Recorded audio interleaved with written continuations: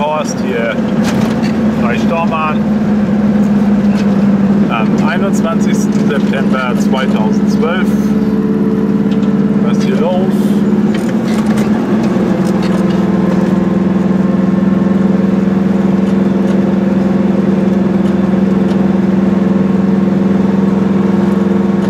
Zwei Mädchen, hallo, lacht man, super.